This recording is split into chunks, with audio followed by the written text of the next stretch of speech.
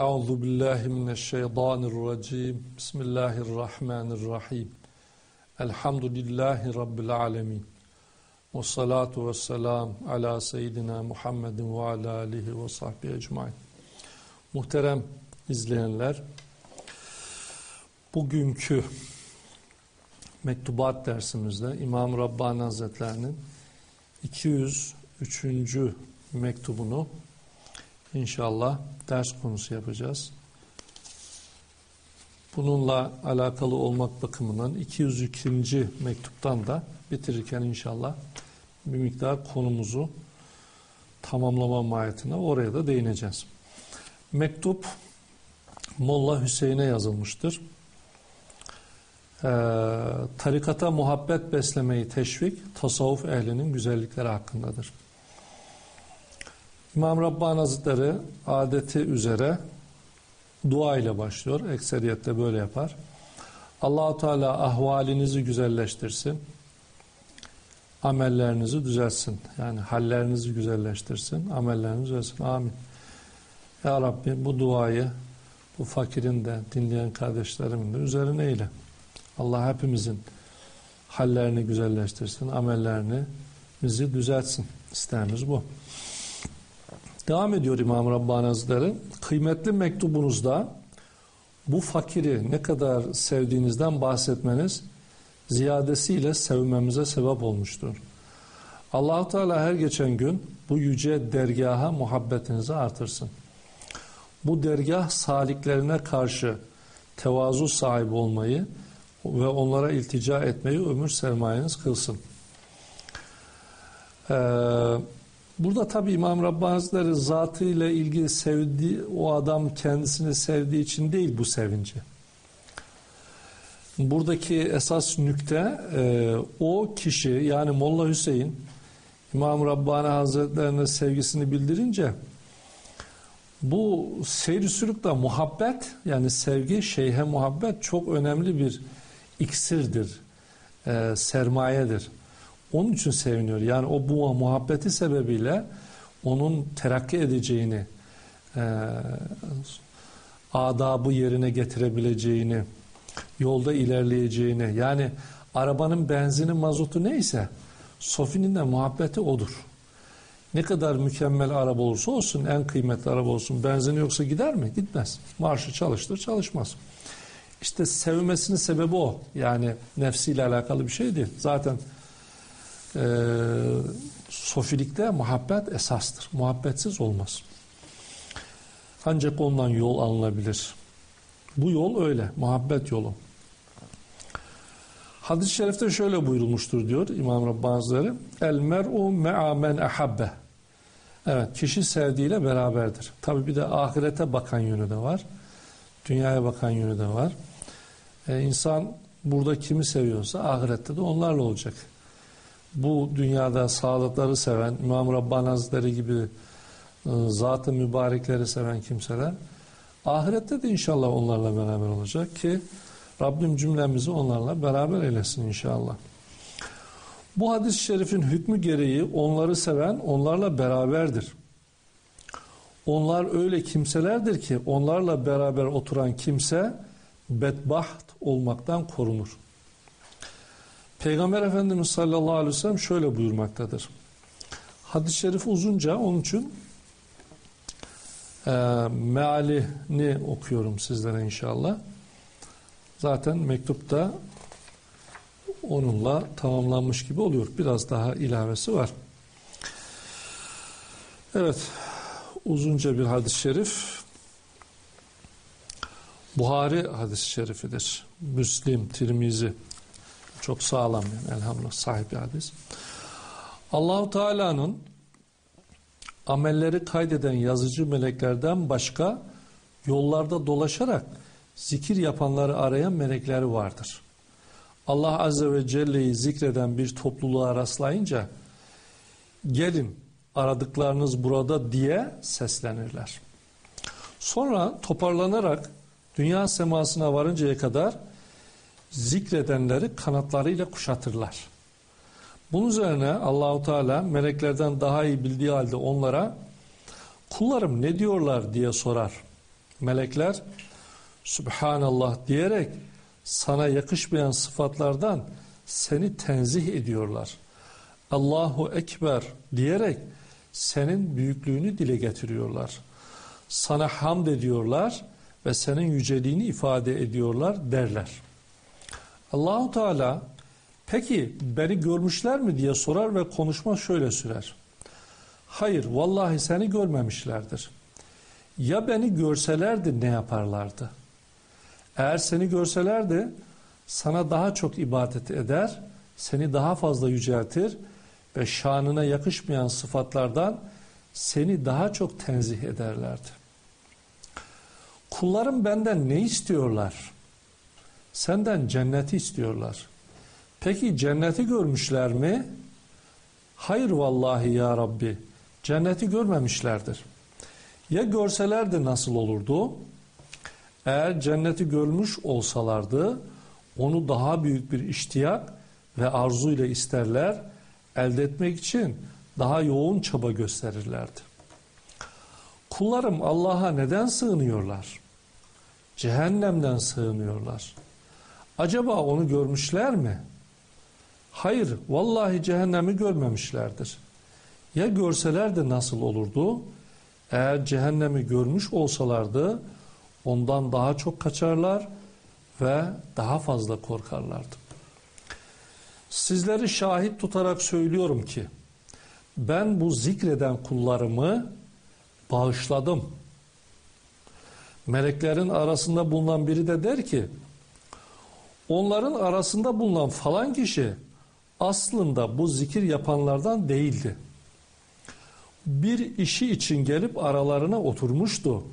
Bunun üzerine Cenab-ı Hak şöyle buyurur.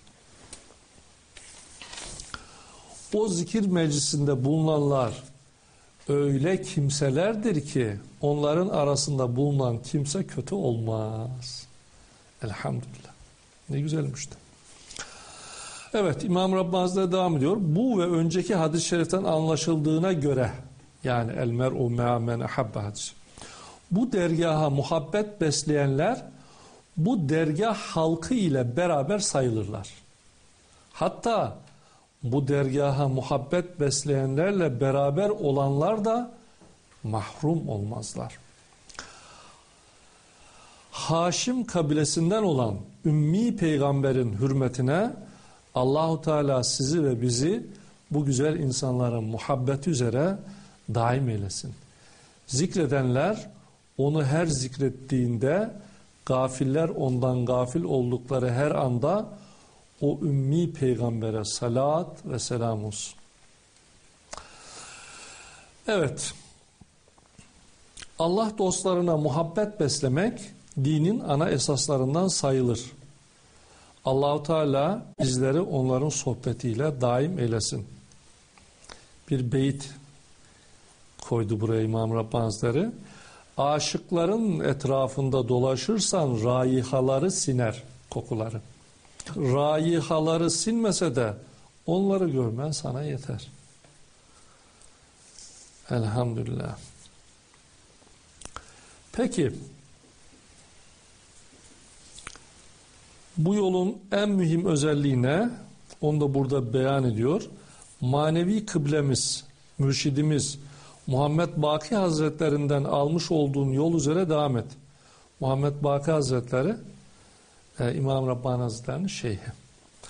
Bütün benliğinle ve kalbinle yönel sonra mübarek Allah ismini benzerlik ve keyfiyet aklına getirmeden manasını düşünerek kalbinden geçir. Sırf Allah Teala'nın zatını düşün, onun hazır ve nazır olma sıfatlarını bile asla aklına getirme.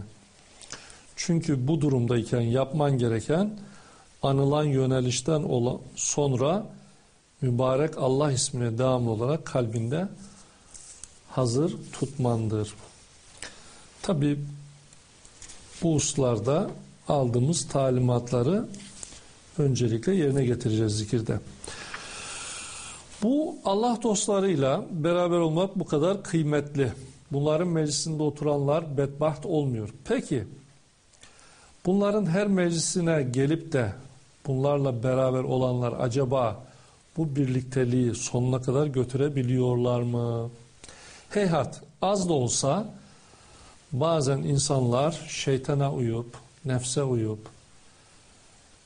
insi şeytanlara uyup, efendim bozuk hocalara, bozuk yayın yapan e, mecralara kapılarak bu saadatları maalesef terk edebiliyorlar.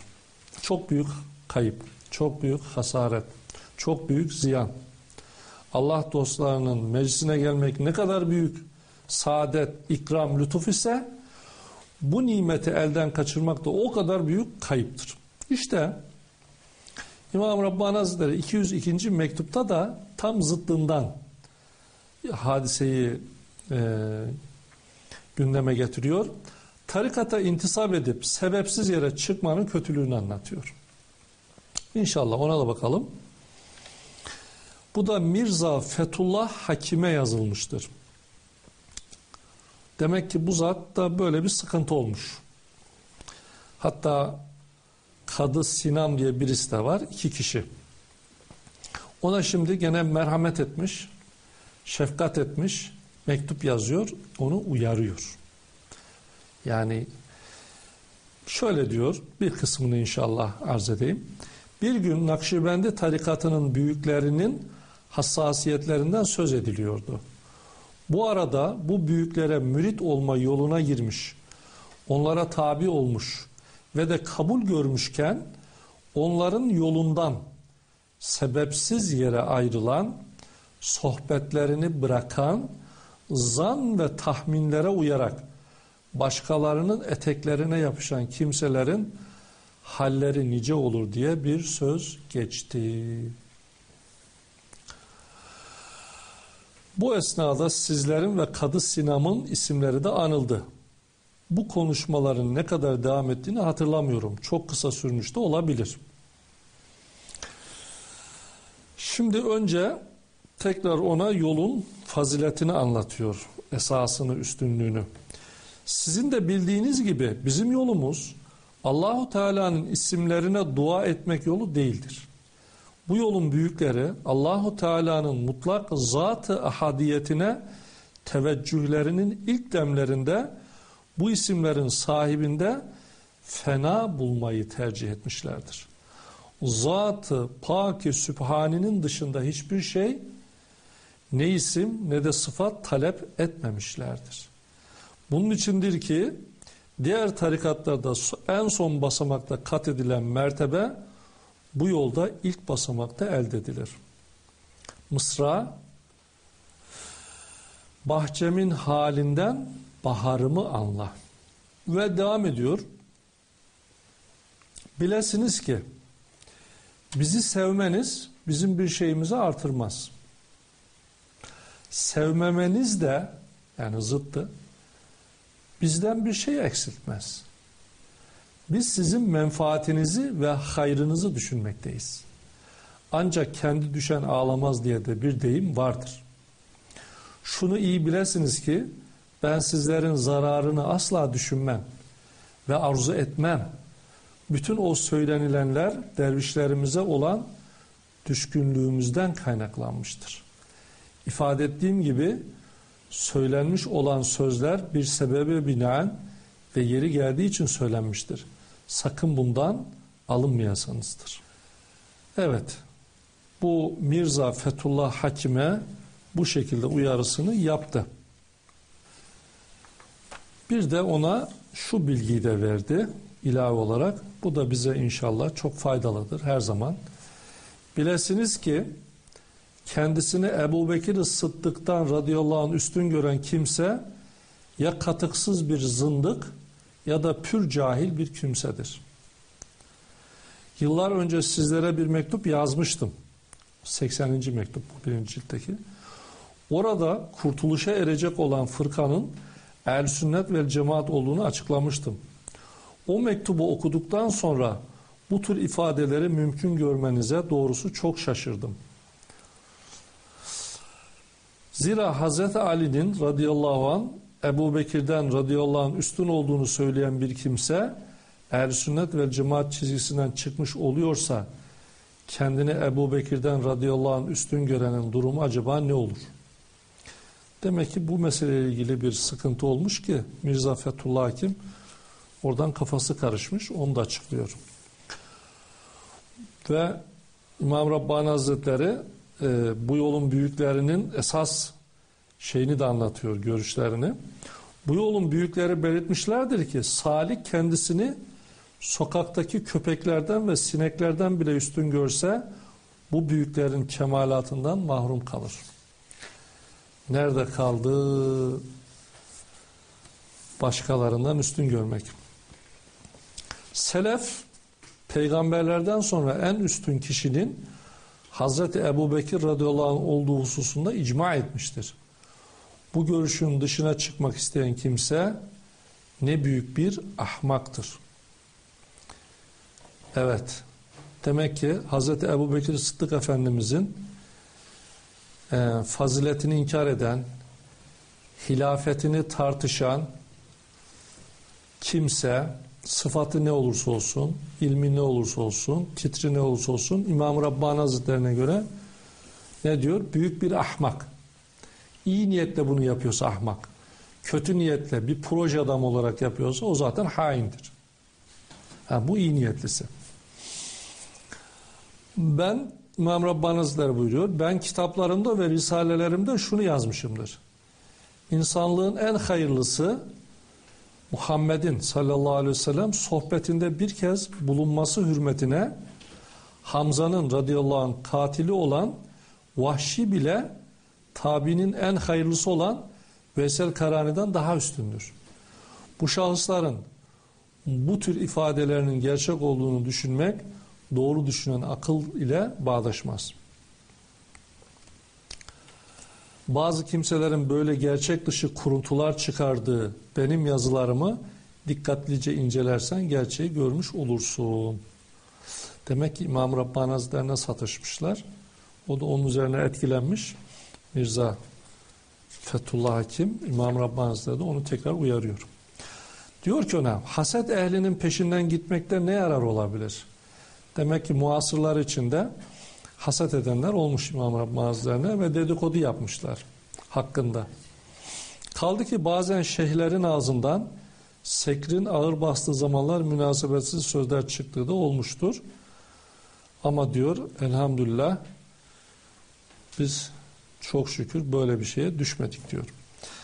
Evet maalesef ehli iman birbirine destek çıkacak, arka verecek, ittihadı temin edecek, muhabbetle davranacak yerde bazen böyle hasetten kaynaklanan veya nefsten kaynaklanan veya kötü haberden kaynaklanan dessasların, aracıların şeyle birbirine zarar vermektedirler.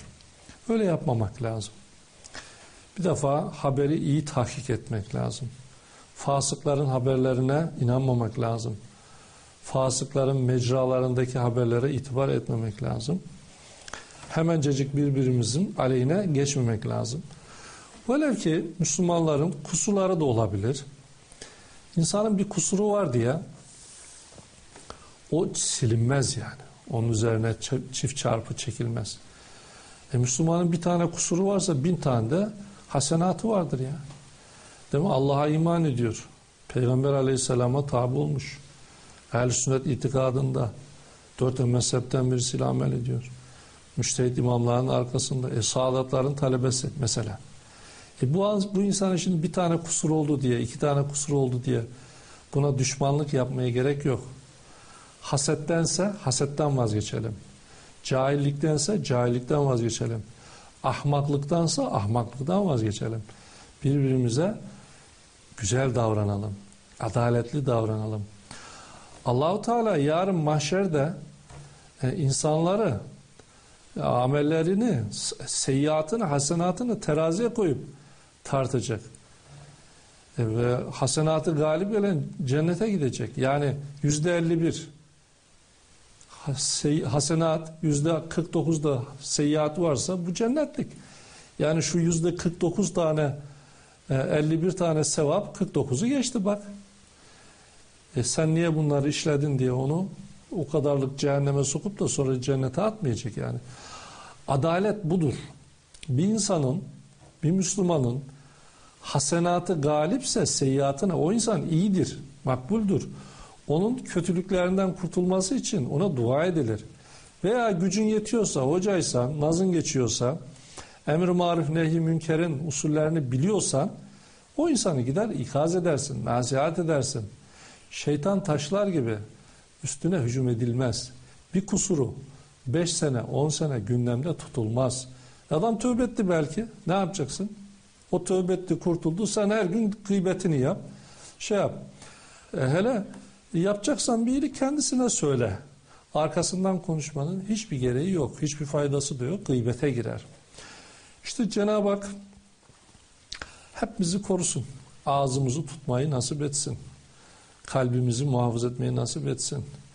Yani hele hele alimlerin hakkında, yaşlıların hakkında, e, hele hele saadatların hakkında suizan etmek çok kötü şey.